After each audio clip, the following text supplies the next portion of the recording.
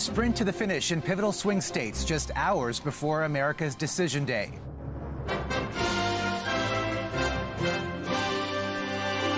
Polarizing pitches to sway undecided voters. November 5th, 2024 will be Liberation Day in America. We have momentum. It is on our side. Can you feel it? And what it means for Canada's economy. There are opportunities and challenges with either candidate. BC port workers locked out, the tens of millions at stake, and the potential impact on holiday shopping. The arrests and suspension of a police officer after violent clashes outside a Hindu temple in Ontario. Plus, reflecting on the legacy of Murray Sinclair, a life dedicated to truth and justice for Indigenous peoples. He is our Martin Luther King for this country. And remembering a brilliant musical mind, Quincy Jones. I've seen the power of music as a tool to reach the hearts and minds of millions of people. The hit making producer who shaped some of the biggest stars. Fly me to the moon. And most memorable songs.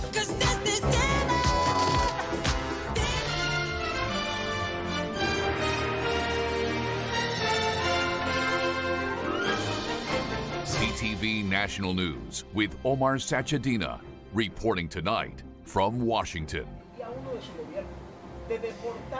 Good evening, everyone. We are just hours away from polls opening across the United States in one of the tightest presidential races in American history.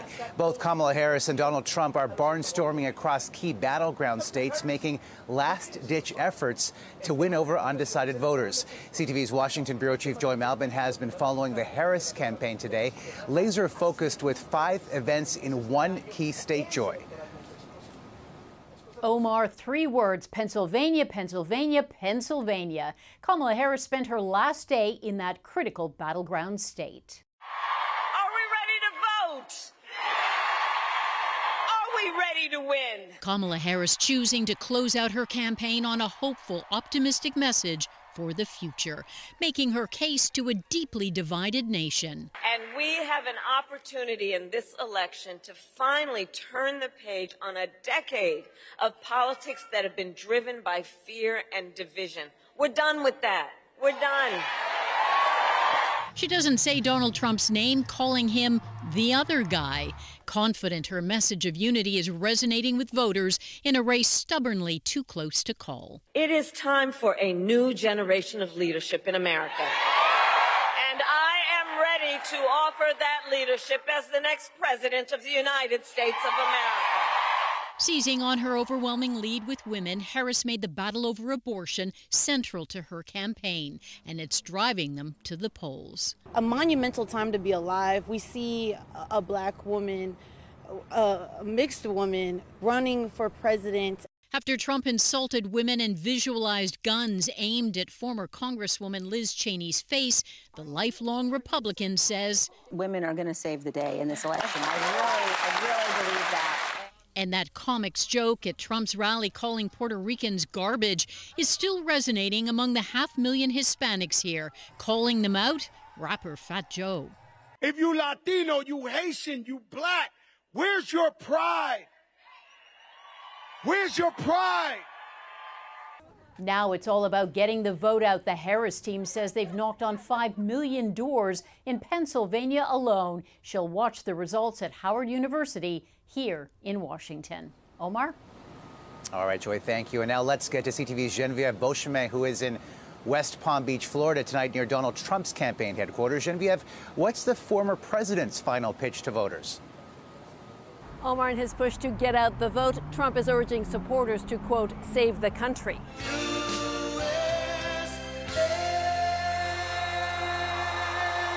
The era of Trump's trademark campaign rallies ended with a high paced push through swing states and a familiar catchphrase. And you're going to say that to her. You're going to say, You've done a terrible job. You're grossly incompetent. We're not going to take it anymore. Kamala, you're fired. Get the hell out.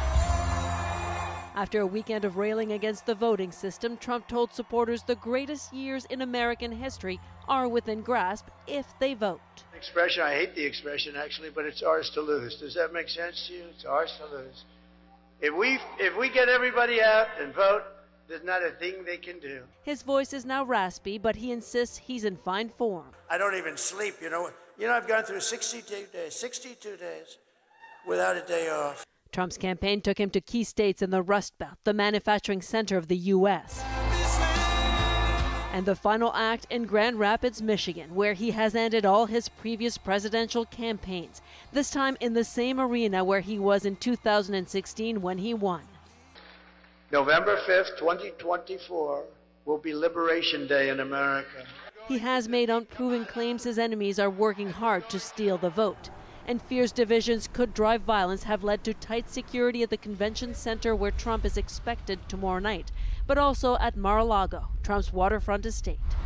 Tomorrow's the big day! Celebration, baby! We're gonna do it! Porters were rallying voters there all day. It's going to be a close race, but I think we're going to do it. They say they know Canada and the world are watching closely. Trump was in New York and then Washington on previous election nights. He will be here in West Palm Beach, where he announced 720 days ago that he would run again to be president. Omar. All right, Genevieve, thank you. And CTV's chief political correspondent Vassy Kapelos joins me now. And listening to those closing arguments today, Vassy, from both candidates, it's clear that each one of them has sharply different visions for America. What stood out most for you? I think two things stood out. First, who they're talking to in these closing arguments. Clearly, it's tens of thousands of voters in Pennsylvania they anticipate will make the difference tomorrow. And that's who their message is aimed at. It's the content of the message, the closing argument, as you point out, that is really striking, right? Both of them want to turn the page, but on different things. Kamala Harris's message, in a hard pivot away from talking about Donald Trump, is about moving away from the rhetoric, the polarization, the divisiveness that has kind of encompassed the last, you know, eight years, but particularly 2016 to 2020. I think Donald Trump's message is very much focused on trying to tie Kamala Harris to Joe Biden and to the economic record that he knows a number of Americans are unhappy with, and to attempt to tell voters, particularly those in those swing states, I can be the one to turn the page on that. So they both want to turn a page just on two very different things and clearly motivate people who might sit at home and stay on, on the couch basically to get out and find a reason to vote for them. Whether the argument's worth, obviously, you know, we'll find out maybe tomorrow, maybe a few days after that. And mobilize the vote, and we'll see how America decides in just a few hours. Vassy, thank you so much. Well, whatever America decides uh, tomorrow, whatever the results is, it will have a major impact back at home, and Canada is preparing for either scenario. This afternoon, I spoke with Canada's ambassador to the United States on how the results could affect the diplomatic relationship obviously, like everyone, I'm, you know, I'm eager to see how it all turns out. Um, but I know we're ready. They're each protectionist in their own way, way right? We know uh, the manner in which Donald Trump is protectionist, and Kamala Harris was one of 10 U.S. senators who voted against the new NAFTA because she wanted environmental protections. But at the end of the day, is there is there a better candidate for Canada to protect Canadian interests? I think that there are opportunities and challenges with either candidate. And that's true of any U.S. administration. It depends on the topic you're talking about. So you are, if you mention trade, uh, obviously former President Trump's uh, policy of potentially applying a 10% tariff on all imports from Canada into the United States, that's not good for Canada. But it's not good for the United States. And we've spent an awful lot of time going around this country talking to Republicans, whose uh, state or community or city benefits greatly from Canada being their number one customer and from Canadian investment and job creation in their in their region.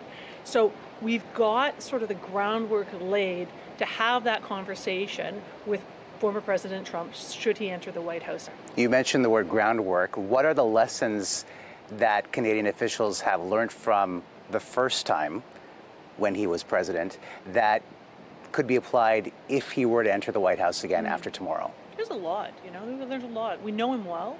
Uh, the Prime Minister knows him well. We know him well. Uh, he is very straightforward. You know, oftentimes people think, well, he is saying this particular thing, maybe he doesn't really mean it.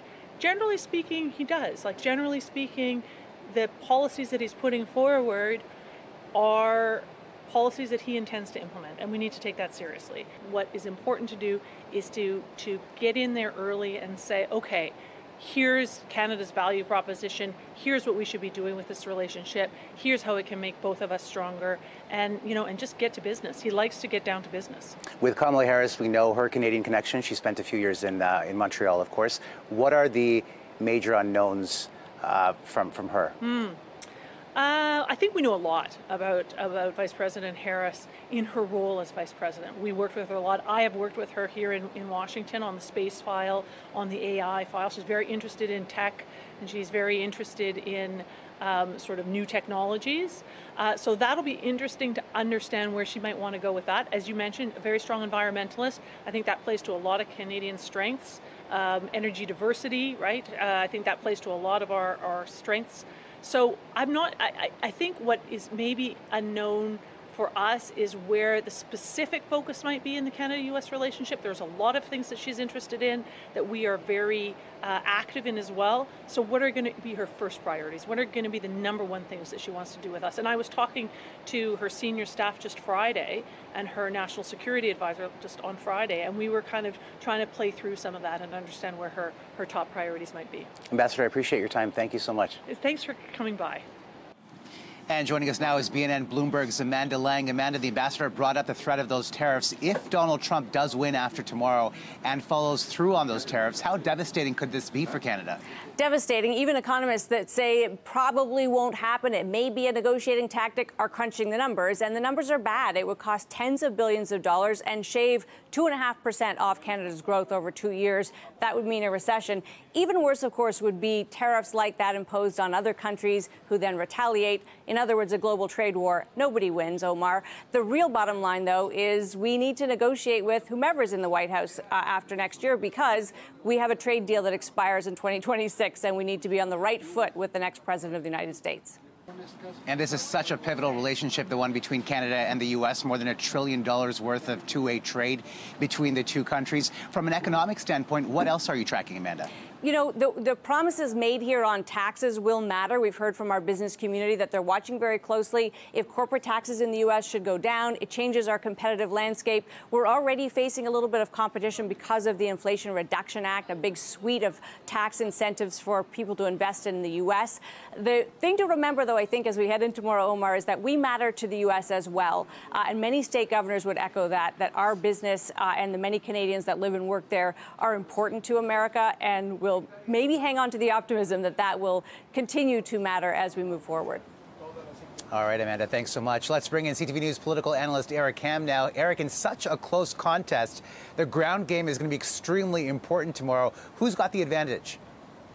Well, it's clearly the Harris campaign. We know even when Joe Biden was running for re-election, they were building out their infrastructure to now there are hundreds of field offices all across the country, mostly centered in key battleground states, as well as thousands of people. In fact, we know over the weekend, the Harris cam- campaign was literally making 2,000 phone calls every 10 minutes. And so that was a staggering amount. Tonight, we even saw the, the vice president actually door knocking in Pennsylvania as well. All right, Eric, we will talk to you tomorrow. Thanks so much for this tonight.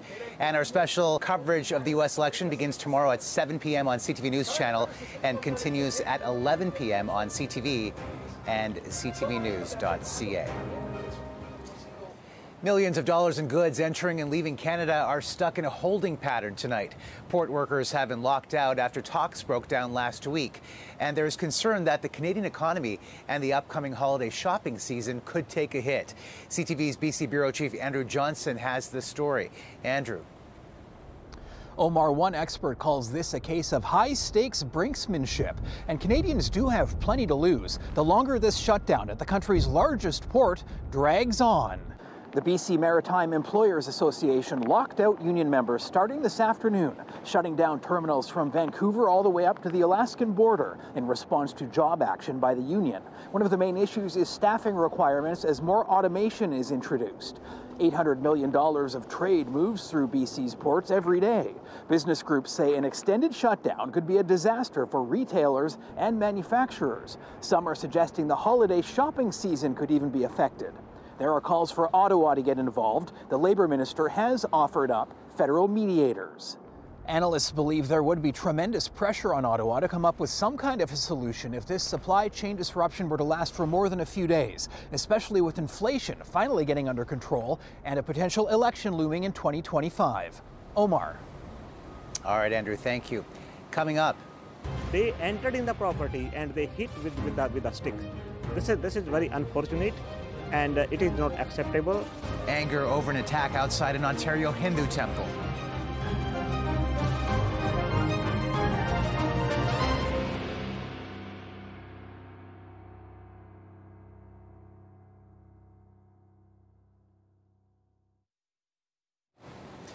An eruption of violence between Sikh separatists and worshippers outside an Ontario Hindu temple has led to arrests, political condemnation, and the suspension of a police officer. Here's CTV's Rahim Ladani. Many people stand here. Azad Goyat was here at the Hindu Sabha temple on Sunday afternoon, taking part in a financial workshop for seniors, which was being led by consular officials from India. Who's a terrorist? India! It was their presence that brought Sikh separatists to the place of worship, holding banners in support of the Khalistan movement, which is seeking to create a separate sovereign state for Sikhs within India's Punjab province. Social media video shows demonstrators clashing with those at the temple, with people being hit with flags and sticks. They entered in the property and they hit with, with, the, with a stick. This is, this is very unfortunate and it is not acceptable. Among the group of demonstrators is believed to be an off duty police officer. Peel police say they are aware and that this officer has since been suspended. Another video shows a uniformed police officer swinging his fist into a crowd before grabbing a stick. Whosoever was involved in, in the, the, the, using, the, using the inappropriate uh, force uh, against the devotee, they must be terminated. Canadian officials at all levels of government are condemning the violence. Local councillors say tensions are mounting within the South Asian community. It's getting very political, it's getting very nasty, um, especially when it gets drawn on uh, religious lines. Later that night, two more demonstrations emerged, this time in Mississauga, including one at the Sri Guru Singh Sabha Malton Gurdwara. Sikh groups say the demonstrators were not Sikh protesters, but instead part of a pro India group. Police arrested and charged three people. I hope that those responsible are held fully accountable. Um, and I think that will be a chilling effect for those that want to copycat this, this incident. There are limits uh, to the right to protest. The incident comes weeks after Ottawa expelled six Indian diplomats, linking them to the killing of a Sikh separatist leader in 2023 on Canadian soil. It has accused the Indian government of conducting a broad campaign against South Asian dissidents in Canada, something New Delhi denies. Rahim Ladani, CTV News, Toronto. Still ahead. Remembering Murray Sinclair, a key architect of reconciliation.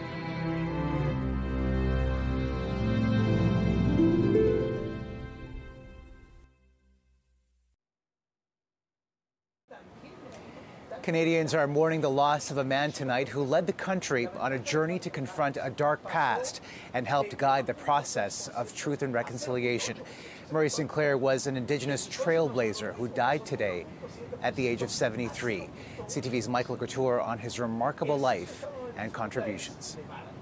Throughout his life, Murray Sinclair tried to shine a light on the dark corners of Canada's history, searching for the truth and paving the way for reconciliation. It was education that got us into this, and it will be how we educate our children going forward that will get us out of this. As the head of the Truth and Reconciliation Commission, he led Canada through a reckoning with its past abuses of Indigenous peoples in residential schools.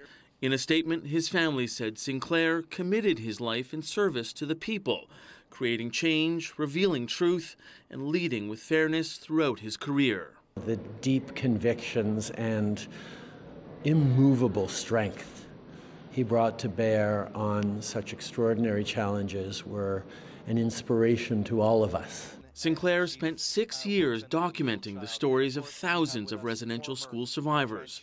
It resulted in 94 calls to action and an awakening across the country.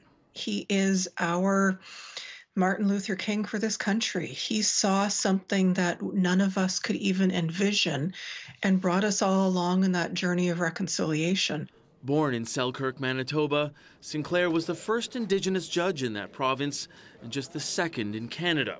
Sinclair's traditional name means the one who speaks of pictures in the sky. The story behind it, of course, is about a young man who goes out to to seek answers in order to help his people who are living in troubled times. After delivering the TRC report, he was appointed as a senator, where he continued his work to make the country a better place for all. He would listen to these places as stories of learning, of possibility, so that we could create a better future for everyone's kids. Murray Sinclair was 73. Mike Le Couteur, CTV News, Ottawa. A courageous leader and an inspiration. After the break.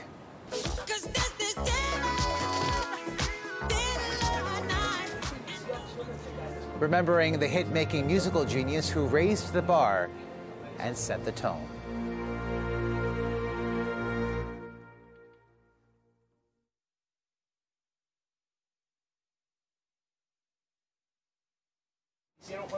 The standard set by Quincy Jones will be hard to beat. Widely considered one of the most influential forces in American modern music, the entertainment world is mourning the loss of a titan tonight.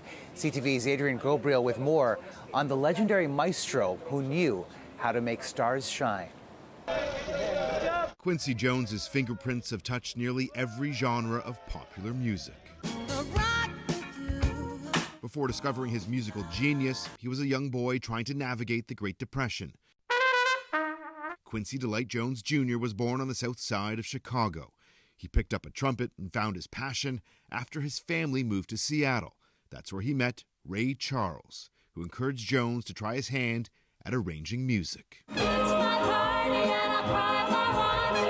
Jones' first major commercial success came in 1963 when he helped produce Lesley Gore's It's My Party. Though it was his work and friendship with Frank Sinatra that helped Jones break down racial barriers and into the music scene. Fly me to the moon. With Jones arranging and conducting Sinatra's Fly Me to the Moon. And we had the best time. It's like being on another planet with him. Frank would say, Q, live every day like it's the last, and one day you'll be right. Though his musical gift to the world was nearly cut short, Jones suffered two brain aneurysms in 1974. He recovered and went right back to work. Producing albums for Aretha Franklin, George Benson, and Michael Jackson. Thriller became the best selling album of all time. Jones received 28 Grammy Awards over his career. Also produced We Are the World for famine relief in Africa. Love, laugh, live, and give. That's what it's about. Reflecting on the average life expectancy, Jones once said, You only live 26,000 days. I'm going to wear them all out. While the maestro of modern music has departed, the songs he produced promise to live for an eternity. Quincy Jones was 91 years old. Adrian Ghobrial, CTV News, Toronto. Just an incredible life and legacy. That's a snapshot of this Monday for all of us at CTV National News. Thank you for watching. Good night, and see you again tomorrow from Washington.